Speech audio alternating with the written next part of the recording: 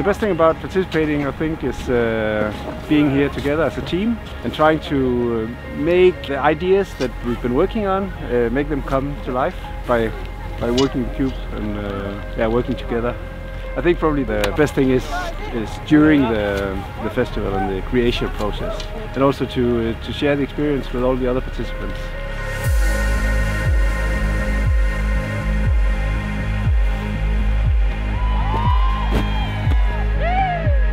As you're working, you keep warm. So I think the the people working on the sculptures they really enjoyed that it wasn't really hot.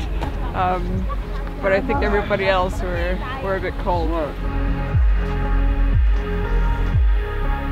The best part has been to get to work with the the snow and also uh, here uh, in this place where a lot of things are happening all the time and you get to go inside and have a break and eat lunch and coffee with the other people and it's been very fun.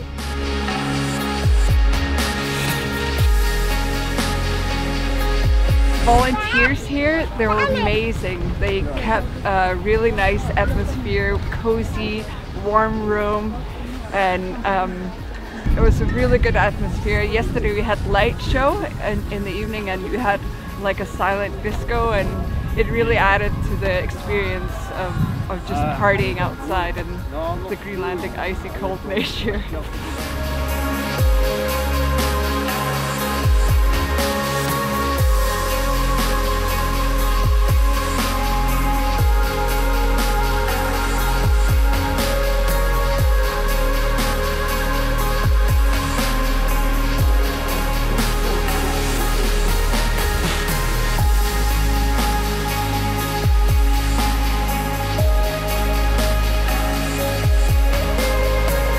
Four great days with a lot of fun and uh, the challenge of uh, trying to turn this cube into something that uh, people will recognize.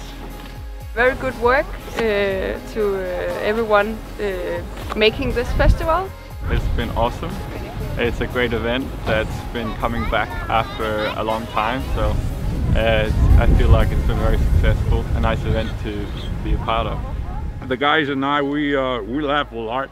That's the key to this whole process. Like, have fun with it. It's not competition. It's about art. It's about how you do it. It's about the essence of art, right?